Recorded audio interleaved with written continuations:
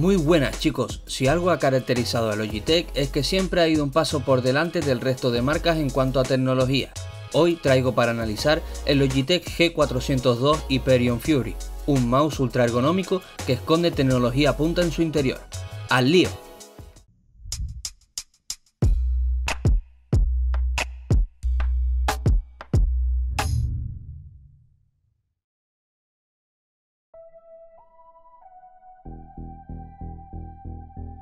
En la caja podemos ver tanto el aspecto como algunas especificaciones técnicas en la parte trasera.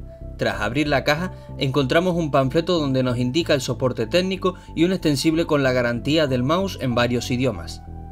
Una vez sacamos el ratón de la caja vemos que el cable es bien sencillo, no está mallado y su conector está ligeramente chapado en oro. El cable internamente es compacto, por lo que la calidad en general es bastante buena.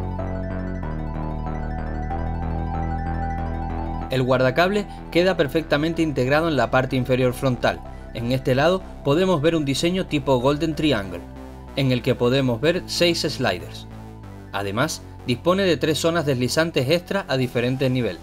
Esto le proporciona un deslizamiento impresionante. El ratón mide 136 milímetros de largo, algo fuera de la media de un ratón. Esto es debido a su botón derecho prolongado con respecto al principal. La máxima en este ratón es la comodidad, de ahí que los botones para alternar niveles de DPI los hayan retirado de la zona de la rueda, colocándolos en el extremo del botón principal con el que podremos seleccionarlos sin ningún tipo de problema.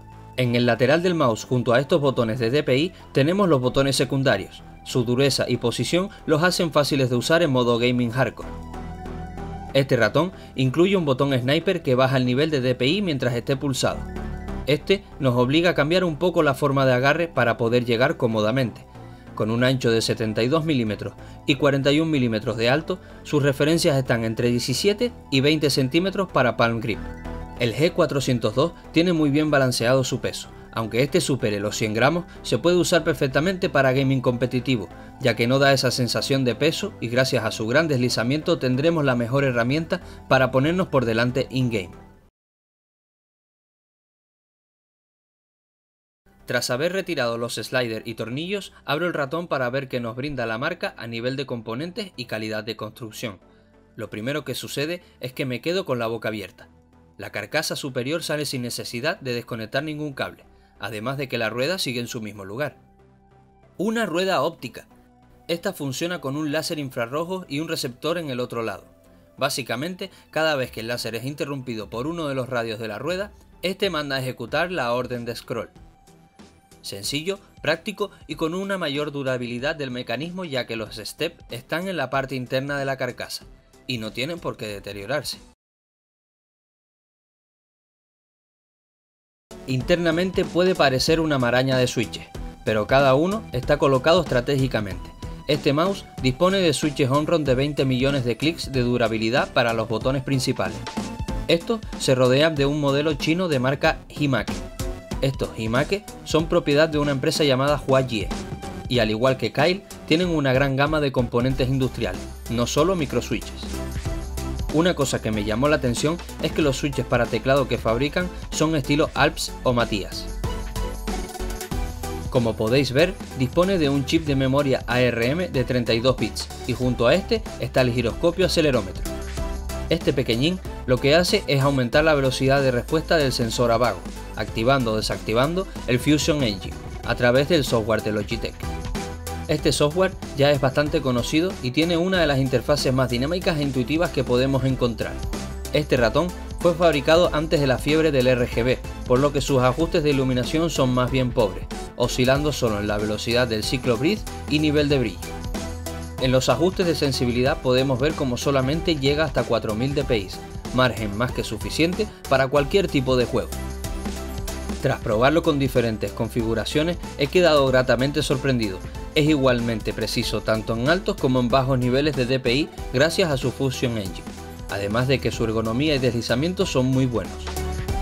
En este apartado depende bastante del mousepad, ya que con uno rígido dará mejor prestación en cuestión de velocidad de movimiento, las denominadas speed. Yo lo he puesto a prueba tanto en mousepad control como a pelo en la mesa, y he de decir que no he detectado ningún tipo de problema por parte del mouse. Bueno chicos, podría decirse que este ratón es el predecesor del PMV 3366, ya que este AM010 es el equivalente al PMV 3310. Lo que pasa que este ratón está a medio camino entre ambos. El hecho de que la rueda sea óptica para mí es un puntazo y eso significa que hace generaciones que están pensando en un futuro. De este ratón me gustaron varias cosas. Una de ellas es los botones de DPI. Estos botones están en una posición en la que me es muy cómodo presionarlos sin necesidad de estar haciendo posturas raras. Además, mi agarre es híbrido entre palm y claw, por lo que para mí es súper sencillo y súper cómodo poder cambiar entre DPI cuando estoy cambiando de personaje en Overwatch o en Quake. Otro puntazo es el indicador LED de DPI, que tiene tres bombillas LED en el lateral. Esto significa que de un vistazo rápido puedes saber en qué nivel estás y si necesitas subir o necesitas bajar. No tienes que estar quitando la mano para mirar la parte superior o la parte central del ratón. Como ya he mencionado antes, me agarre es un híbrido entre palm y claw, por lo que el botón derecho que sea más prolongado a mí me beneficia, ya que yo hago un agarre tipo diagonal, como podéis ver en la siguiente imagen. Esto no solo me beneficia a mí, sino que también beneficia a muchos usuarios que no tienen un estereotipo de agarre. Una de las cosas que no me gustó de este ratón es el botón sniper. Ojo, que no digo que no sea útil, simplemente no me ha gustado la posición de este ya que la noto un poco adelantada. Esto significa que en juegos de desarrollo rápido como Overwatch o Quake no lo puedes pulsar bien y tienes que estar forzando mucho el agarre. En juegos tipo Counter-Strike Global Offensive sí se puede presionar sin ningún problema ya que es un juego más lento y más táctico. También le veo otro tipo de funcionalidades ya que en el software de Logitech lo podemos cambiar de ajustes para ponerlo con un comando directo, con una macro o con un botón tipo multimedia. El precio actual de este ratón es de 52 euros y para mí es una alternativa más que apta para el tipo de agarre palm y para su rey el Death Adder. Bueno chicos, espero que os haya gustado el vídeo y si es así, métanle un like. No olviden de suscribirse para estar al tanto de próximas reviews. Venga pibes.